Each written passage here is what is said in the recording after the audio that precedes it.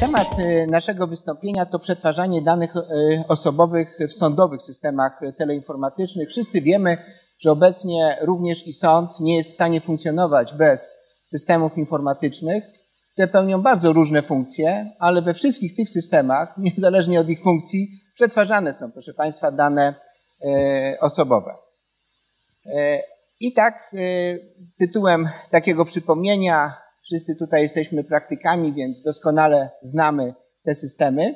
Proszę zwrócić uwagę, że ta informatyzacja e, wymiaru sprawiedliwości, głównie tu będziemy mówili o sądownictwie, e, no, no, przebiega w różnych jakby płaszczyznach. Po pierwsze, ma na celu mm, przekazać pewne usługi dla obywatela, no konkretnie najczęściej strony postępowania. W tym zakresie Chodzi tutaj, proszę Państwa, o takie systemy informatyczne jak portal orzeczeń, e, portal informacyjny, e, elektroniczne biuro podawcze, które jeszcze nie powstało, ale przecież mamy już ustawę z lipca 2015 roku, która daje podwaliny prawne dla utworzenia e, elektronicznego biura podawczego. Mamy oczywiście Krajowy Rejestr Sądowy, elektroniczną księgę wieczystą, rejestr zastawów. Tak, z perspektywy prawa cywilnego oczywiście prawo karne także ma swoje e, systemy i bazy danych.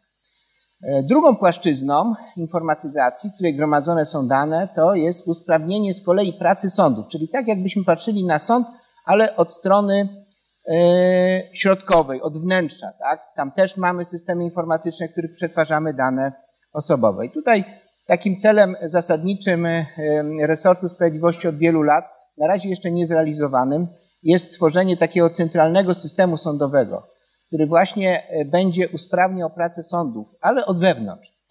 E, w tym zakresie mamy już natomiast wdrożenie e, zintegrowanego systemu rachunkowości kadr. To bardzo ważny system, który gromadzi dane osobowe. No, chociażby ten drugi komponent kadrowy, proszę Państwa, to są dane o pracownikach sądów, wszystkich sądów w Polsce. Tak? Także to jest centralny system, który rzeczywiście gromadzi bardzo dużo danych osobowych, zarówno sędziów, e, pracowników administracyjnych, referendarzy, asystentów. Oczywiście mamy również e, systemy, e, które wspomagają już samo procedowanie, to jest elektroniczny protokół, elektroniczne płatności, które dają możliwość stronom dokonywania płatności opłat sądowych, wydatków sądowych. Mamy również instytucję elektronicznego potwierdzenia odbioru, gdzie także oparty jest oczywiście ten system o rozwiązanie informatyczne, w którym gromadzone są dane osobowe. W końcu mamy również tak zwany portal transkrypcyjny, który wspomaga sądy w zakresie przeprowadzania transkrypcji nagrań e, pochodzących z e-protokołu. Następnie mamy również usprawnienie wybranych postępowań sądowych. I to jest też płaszczyzna, w których są systemy informatyczne, w którym przetwarzamy dane osobowe. Tutaj w szczególności chodzi o elektroniczne postępowanie upominawcze, elektroniczne postępowanie wieczyste księgowe. Jeśli chodzi o to pierwsze postępowanie, to do, sądów, e, do sądu Lublin-Zachód wpłynęło obecnie już e, ponad 8 milionów spraw i te sprawy wszystkie zarejestrowane są w tym systemie i tam są przetwarzane dane osobowe aż tylu e, podmiotów, proszę Państwa. W końcu optymalizacja usług informatycznych. W tym zakresie również podejmowane są działania, które mają na celu usprawnić e, e, pracę w zakresie samej obsługi procesów informatycznych w sądach, chociażby zarządzanie tożsamością, czyli pocztą elektroniczną wszystkich jednostek sądowych. Jeśli chodzi o portal orzeczeń, to trzeba powiedzieć, że tutaj głównym celem tego systemu informatycznego jest udostępnianie orzeczeń sądów powszechnych w internecie, tak żeby wiedza, zwłaszcza stron, ale także i pełnomocników profesjonalnych o linii orzeczniczej w danym sądzie e, była wiedzą łatwo dostępną, a nie tylko w drodze e, zapytań pisemnych w trybie ustawy o dostępie do informacji publicznej. Portal orzeczeń umożliwia dostęp bezwnioskowy do tej informacji, ale oczywiście wybranej. Pamiętamy, że póki nie ma rozwiązań legislacyjnych, to sędzia może samodzielnie zdecydować, czy dane orzeczenie opublikuje, czy też e, nie. Ważne jest również to, że ten portal orzeczeń odciąża pracę sekretariatów, które do tej pory e, musiały na wniosek skierowany do prezesa anonimizować orzeczenie i udostępniać osobie zainteresowanej. Teraz odbywa się to w sposób automatyczny. Portal orzeczeń pełni również bardzo istotne funkcje prawne, w szczególności stanowi realizację idei jawności wymiaru sprawiedliwości. To jest zgodne z artykułem 45 Konstytucji. Również podnosi świadomość prawną obywateli. Dzięki temu obywatele, mając dostęp do orzeczeń sądowych, mogą planować również swoje poczynania prawne w zakresie dochodzenia e, swoich praw czy ochrony swoich praw podmiotowych. E, w końcu, w pewnym sensie, choć nie zawsze, powoduje pewne ujednolicenie linii orzeczniczej w danym e, okręgu. To pozwala również sądom niższej instancji obserwować orzecznictwo sądu wyższej instancji w poszczególnych kategoriach spraw. I może sądy niższej instancji kierują się także tą już utrwaloną linią orzeczniczą w poszczególnych sądach. Bardzo istotne znaczenie ma również zwiększenie transparentności funkcjonowania sądów. Jak wszyscy wiemy, w ostatnim okresie sądy są e, bardzo częstym e, tematem e, debat polityków, ale również generalnie debaty publicznej i społecznej. I podkreśla się bardzo często, że brakuje, do tej pory brakowało takiej przejrzystości, transparentności wymiaru sprawiedliwości. Stąd też Wszelkie zabiegi, które mają e, na celu zwiększyć tą transparentność, służą również sądom, choć oczywiście przede wszystkim mają służyć obywatelom. Jeśli chodzi o portal informacyjny, e, to jest bardzo ważny system informatyczny. On, proszę Państwa, gromadzi naprawdę e, wszystkie dane osobowe stron postępowań sądowych w całym kraju. Mamy tutaj do czynienia z systemem, który w zasadzie ma charakter rozproszony, ponieważ każdy prezes danego sądu powołuje portal informacyjny, czyli stworzy system informatyczny, za pomocą którego przez internet po zalogowaniu się strony mają możliwość oraz ich pełnomocnicy uzyskać podstawowe informacje o sprawie, ale nie zmienia to postaci rzeczy, że w tym portalu są dane personalne stron postępowania, więc z perspektywy tematu naszej dzisiejszej konferencji jest to bardzo istotny system informatyczny, który oczywiście y, ma za zadanie przede wszystkim usprawnić proces udostępniania informacji y, o sprawie, odciążyć sekretariaty od udzielania informacji takich jednostkowych o aktualnym statusie danej sprawy, no i przede wszystkim podnieść jakość i zwiększenie dostępności usług publicznych w zakresie wymiaru y, sprawiedliwości. Ten dostęp do informacji sądowej następuje online, E, generalnie powoduje, że strony mają na bieżąco dostęp do aktualnej informacji o sprawie bez konieczności e, osobistego kontaktu z sądem, czy to osobistego, tak jak powiedziałam, czy e, telefonicznego. Jeśli chodzi o elektroniczne biuro podawcze, to jest system, który będzie powstawał. On w zamyśle projektodawców miał być oparty o pewne założenia właśnie portalu informacyjnego. Czyli portal informacyjny, póki co, jak Państwo wiecie, pozwala E, państwu wyłącznie uzyskać informacje o sprawie, czyli ma charakter bierny. Nie możemy poprzez portal dokonać żadnej czynności procesowej. Tak? Możemy tylko uzyskać informacje o sprawie. Mało tego, ta informacja nie jest prawnie doniosła, czyli pozyskanie informacji z portalu nie powoduje, że na przykład zaczyna nam biec termin do wniesienia jakiegoś środka zaskarżenia. Nie, to jest tylko informacja. Natomiast to jest pierwszy krok w kierunku elektronicznego biura podawczego, która, e, które ostatecznie doprowadzi do stworzenia e, systemu informatycznego, przez który będziemy mogli dokonywać czynności procesowych, czyli będzie już miał charakter e, aktywny. I w tym zakresie przepis artykułu 9 kodeksu postępowania cywilnego definiuje nam pojęcie systemu teleinformatycznego obsługującego postępowanie sądowe. Jest to przepis zatem bardzo istotny, ponieważ on określa samą definicję systemu teleinformatycznego. Później ustawodawca cywilny, procesowy posługuje się tym pojęciem, już mając na uwadze definicję zawartą w artykule 9 e, KPC. E, mamy również artykuł 126, paragraf 6 Kodeksu Postępowania Cywilnego, który przewiduje, że minister sprawiedliwości w porozumieniu z ministrem właściwym do spraw informatyzacji określi w drodze rozporządzenia tryb zakładania, udostępnienia konta w systemie teleinformatycznym, właśnie tym, o którym mowa w artykule 9, za pomocą którego można wnosić pisma procesowe z uwzględnieniem sprawności postępowania oraz ochrony praw stron postępowania oraz możliwości składania jednorazowo wielu pism. Czyli mamy tutaj do czynienia również już z pewną e, gwarancją w zakresie ochrony danych e, osobowych dla stron postępowania sądowego. Taki jest cel tego centralnego systemu sądowego, który zapewni realizację również elektronicznego biura podawczego. Natomiast jeśli chodzi o e-protokół, to jak Państwo wiecie, protokół obecnie został wdrożony w sądach cywilnych. Jeszcze nie we wszystkich sądach w Polsce, ale już w tym roku E, będzie przebiegało ostatnie wdrożenie w jeszcze pięciu pozostałych apelacjach w sądach rejonowych, ale akurat e, w naszej apelacji wrocławskiej e-protokół został wdrożony, począwszy od sądu apelacyjnego, skończywszy na sądach rejonowych, więc tutaj nie mamy problemu. Oprócz tego również wdrożono e-protokół w sprawach wykroczeniowych. No i w zakresie e-protokołu trzeba powiedzieć, że również są przetwarzane dane e, osobowe stron i uczestników postępowania. Pamiętajmy, że te dane są utrwalane już w inny sposób.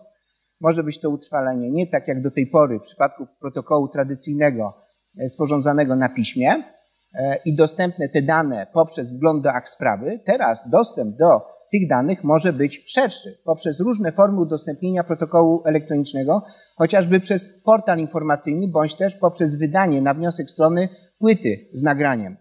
E, co oznacza, że również kwestie wrażliwe dotyczące ochrony danych osobowych zawartych we protokole, zwłaszcza informacje personalne świat, o świadkach, stronach mogą w jakiś sposób być przekazane osobom trzecim, które do, tego, y, do tych danych dostępu mieć nie powinny. Stąd też e-protokół stwarza także nowe problemy związane z ochroną danych y, osobowych. Mamy również portal transkrypcyjny. Otóż portal transkrypcyjny jest to również system informatyczny, za pomocą którego przekazywane są przez poszczególne sądy y, nagrania w celu ich transkrypcji. W związku z tym jest to portal, który także gromadzi e, dane osobowe. Celem oczywiście jest przyspieszenie procesu e, transkrypcji, e, wykorzystanie również pewnych mechanizmów automatycznego rozpoznawania mowy, chociaż jeszcze w mniejszym zakresie, ale przede wszystkim centralne zarządzanie samym procesem transkrypcji. To właśnie centralne zarządzanie procesem transkrypcji powoduje, że muszą być także gromadzone pewne dane osobowe dotyczące tych protokołów. E, oczywiście dostęp do e, transkrypcji, do przekładu następuje także za pomocą konta w portalu informacyjnym, czyli dla strony taki, e, taka transkrypcja będzie również w ten sposób dostępna. I teraz poproszę panią dr Annę Zalesińską o kontynuowanie wystąpienia. Słowem klucz, na które chcielibyśmy zwrócić uwagę, jest słowo centralne. Mamy centralny system sądowy, centralny portal transkrypcyjny, dla protokołów elektronicznych centralne archiwum protokołów elektronicznych, etc., etc., co powoduje, że powstają ogromne bazy danych. Bazy danych zawierające informacje o stronach, uczestnikach postępowania, przedmiocie rozstrzygnięcia. Portal orzeczeń to baza wszystkich niezanonimizowanych orzeczeń. To, że my to widzimy zgodnie z ustawą o dostępie do informacji publicznej w postaci już, która może podlegać ujawnieniu, e, nie, nie, oznacza, że ta baza w swojej pierwotnej treści zawiera wszystkie niezanonimizowane e, orzeczenia. I tu pojawia się pytanie. To pytanie już e, zadał sobie ustawodawca w 2015 roku, Zadał sobie również Kongres Prawników Polskich e, w kwietniu zeszłego roku, e, gdzie jest granica pomiędzy uprawnieniami władzy wykonawczej i władzy sądowniczej. W przypadku e, systemu polskiego został przyjęty taki model, gdzie pojawia się Ministerstwo Sprawiedliwości. Ministerstwo Sprawiedliwości zapewnia zgodnie z przepisami prawa o ustroju sądów powszechnych, a dokładnie minister sprawiedliwości, te środki techniczne, organizacyjne, ale broń Boże, w żadnym wypadku nie stanowi to podstawy do tego, że ministerstwo może przetwarzać te e, dane osobowe.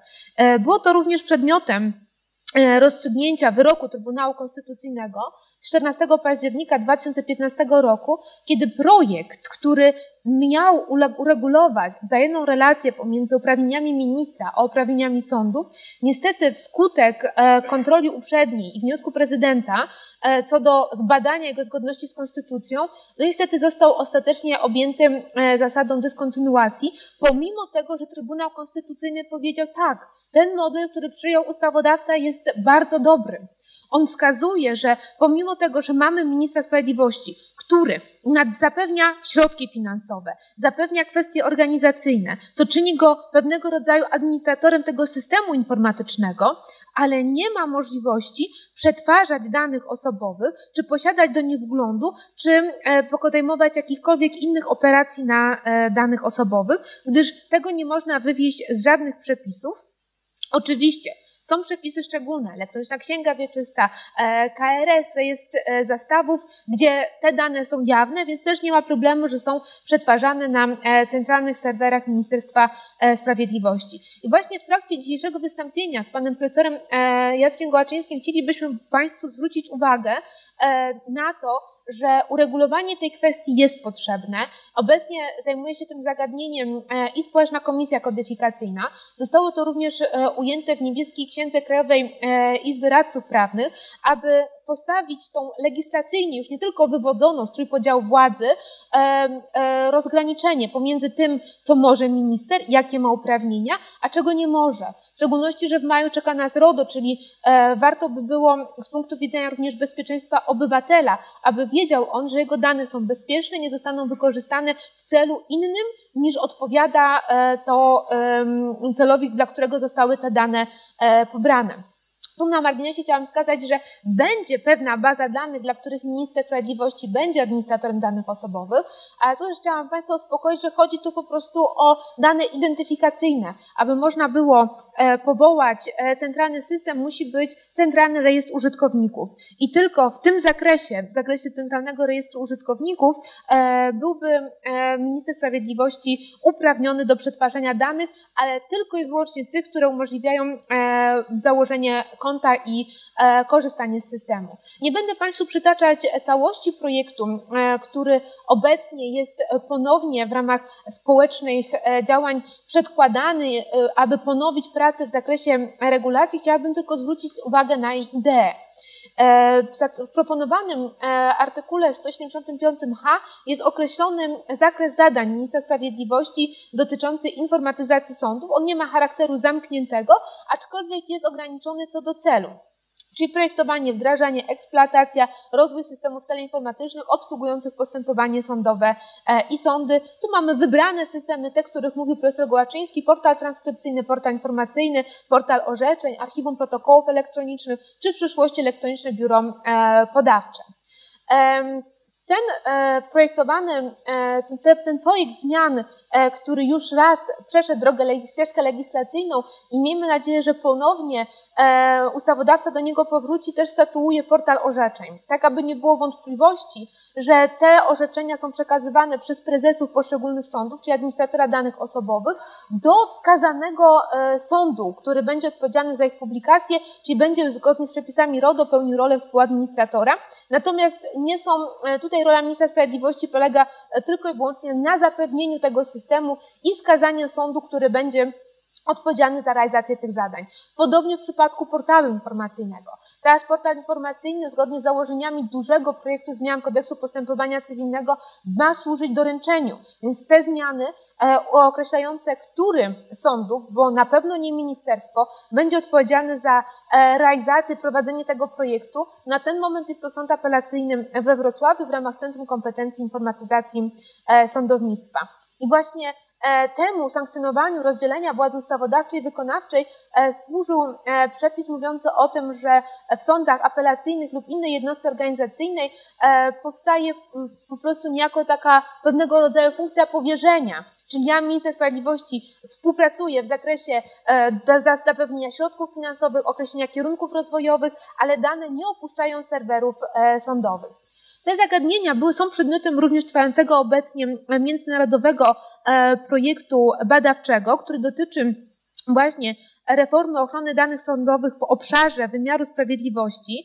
E, jednym z uczestników jest Uniwersytet Wrocławski, a dokładnie Centrum Badań Problemów Prawnych i Ekonomicznych Komunikacji Elektronicznej e, CBKE. I efektem prac analitycznych E, są przygotowane postulaty, e, są przygotowane e, dobre praktyki, które będą przedmiotem konferencji 12 października 2018 roku, a niezależnie od tego efektem tych prac będzie konkretny, namacalny produkt, szkolenia e-learningowe adresowane do pracowników wymiaru sprawiedliwości oraz do profesjonalnych pełnomocników. Mm, I tym akcentem, e, że miejmy nadzieję, że e, ten projekt ponownie zostanie, e, zostanie zainicjowana praca legislacyjna w tym zakresie i jasno zostanie pokreślona linia demarkacyjna pomiędzy tym, gdzie jednak dane sądowe pozostają w gestii sądów na serwerach sądowych, a tym, gdzie kończą się uprawnienia ministra sprawiedliwości. Dziękuję Państwu.